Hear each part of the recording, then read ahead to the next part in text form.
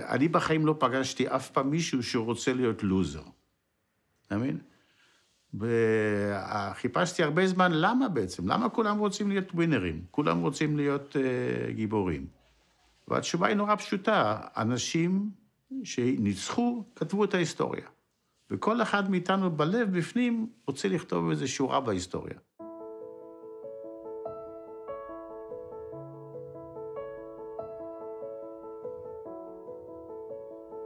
החלוקת תפקידים בינינו מאוד ברורה, שר הפנים הוא שר החוץ. אנחנו מייצרים עדשות למשקפי ראייה. כשהקמנו את המפעל, ידענו מראש שאנחנו לא הולכים לעשות את כל התהליך. אנחנו עושים חצי מהתהליך פה, וחצי מהתהליך נוציא לקבלן משנה בארץ, שהוא יעשה את הציפוי עבורנו. כשהגיע רגע האמת, והקבלן משנה היה צריך לעשות את העבודה, הוא החליט שהוא לא מבצע עבורנו את העבודה. ואז הבנו שאנחנו תקועים. אני חושב שהיינו באוטו, שתקנו איזה 20 דקות, אף אחד לא דיבר עם אף אחד, לא אני... היינו בשוק. ולא היינו בשוק בשוק, טוטאלי. כן. וכל אחד חשב לבד מה אנחנו הולכים לעשות ואיך אנחנו הולכים לסדר את הדברים. היינו נוסעים פעמיים בשבוע לבלגיה עם מזוודה מלאה עדשות כן. לציפוי. היינו מחכים שיצפו לנו את העדשות. זה היה תהליך של שמונה חודשים. ואז פגשנו את אה, צפונה דרומה, עשו פה סיור, האמת שלא היה הרבה מה להראות, היה חדר גדול עם שתי מכונות קטנות. שתי אחים מלאים בהתלהבות. כנראה שהוא ראה את הרעב שלנו, כנראה שהוא זיהה את הפוטנציאל שלנו. היה להם את זה, יש, היה, להם את ה... היה להם את הקליק. מרגע הכניסה למפעל, הם האמינו בנו. ואז שלחו אותנו לבנק מזרחי לקחת הלוואה של שני מיליון שקל. once התחברנו לצפונה, הבנק דיבר איתנו אחרת. בעצם אנחנו, מה שניסינו לעשות, להנגיש הון איכותי יותר לטובת אותם תעשיינים בגליל ובנגב. הרגשה שיש לך כבר את כל התהליך, ואתה לא צריך לנסוע, והכל אתה עושה, מה שנקרא, בתוך הבית, ויש לך שליטה על האיחוד ועל הכל, הרגשה עילאית. זה מה שצפונה עזר לנו מאוד בהתחלה. אני פתאום נהיה בדיוק כמו המתחרים שלי במדינת ישראל.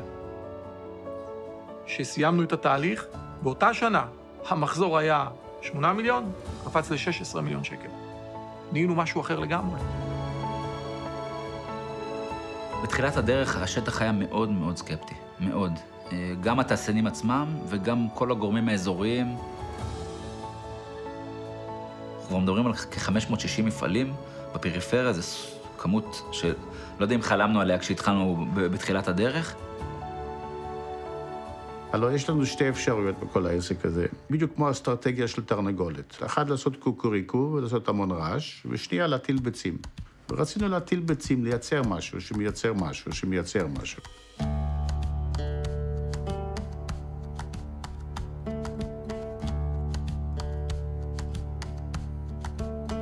לאבא שלי הייתה חנות בשוק העירוני בבאר שבע, שבה הוא בעצם מכר תבלינים, קטניות, פירות יבשים, פיצוחים, ואני עזרתי לו. קליתי קפה, טחנתי תבלינים, והתחלתי לארוז בשקיות של קילו בתנאים לא תנאים. קם בארבע בבוקר, מתחיל לארוז צנצנת צנצנת בעצמי. מחנות קטנה בשוק בבאר שבע, הפכנו להיות יצרני התבלינים מספר אחת בארץ, מעל עשר שנים. עושים מותגים לרשתות גדולות. ראית משפחה שאוהבת לעבוד ביחד, וזה סחב אותם אה, כמו מגנט. באחד השיטוטים שלי בסופרמרקטים גיליתי קטגוריה שהיא בליל של מלא ספקים, והמדף נראה איום ונורא. הרעיון היה בעצם להקים מותג מתמחה לאפייה. 186 מק"טים למכירה, זה לא דבר קטן בכלל. הכל נורא נורא עמוס בצבעים. פתאום הלבן הזה הוא בעצם מה שבולט. השקנו את זה במאי 2010, אנשים באו, עמדו מול הלבן הזה, והיו עמומים. איך יכול להיות שחברה כל כך קטנה מבאר שבע עושה כזה דבר?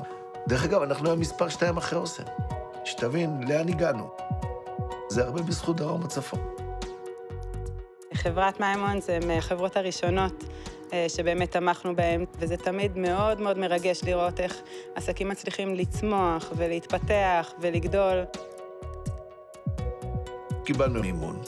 כל הקורסים שעברנו בעצם, כל נושא הלמידה, מביאים מרצים ברמה מאוד גבוהה, מאוד מקצועית. 12 מפגשים של יום שלם, שכל יום, באמת, כל אחד מתחבר יותר אולי ליום אחר או ליום, או ליום כזה, אבל מקבלים המון המון ערך.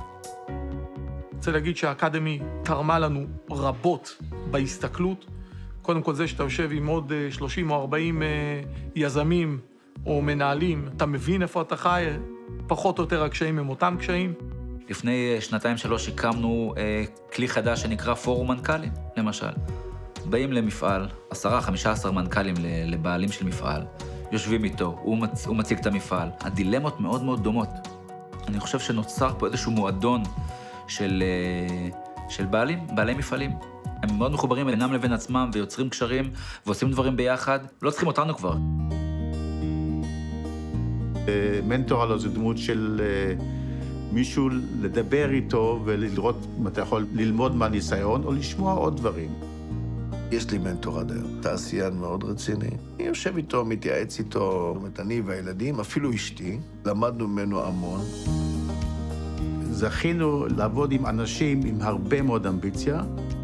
גאווה גדולה, גאווה גדולה להיות חלק מהאירוע הזה. האירוע הזה שנקרא התעשייה בפריפריה, הדרומה צפונה, כחלק מההצלחה של התעשייה בפריפריה. כשהם באו והציעו לי את המימון, אז היה לי כאילו, לא יודעת מאיפה נפלו עליי מהשמיים. לחזור מכאן עם, עם, כמו זיקוקים, דברים שקופצים לי, שישר ישימים לי למפעל. באה קרן צפונה והקשיבה מה אני מתכנן לעשות מחר, והעמידה הון. בלי קרן צפונה לא הייתי נמצא פה היום. לכל החבר'ה הנפלאים שבאמת מייצרים מישראל הבאה, אז רק לאחל שתצליחו. וההצלחה שלכם זה, זה המשואה האמיתית של מדינת ישראל, בלי הצגה ובלי טקס. זה בלב.